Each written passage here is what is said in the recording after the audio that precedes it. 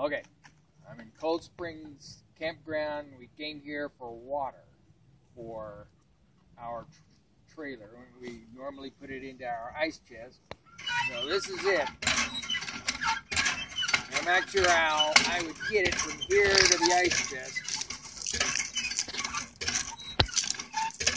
So there it is, right out of the creek.